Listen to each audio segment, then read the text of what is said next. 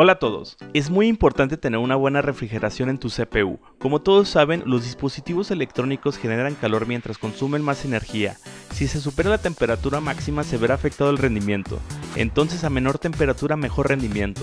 La opción más usada para mejorar la temperatura es el enfriador por aire, el cual disipa el calor del CPU por medio de conductos enfriados por uno o más ventiladores. Una mejor solución es tener un sistema de enfriamiento líquido, el cual a través de una bomba envía el líquido que absorbe el calor del procesador hacia los radiadores que lo enfrían para volver a generar el ciclo.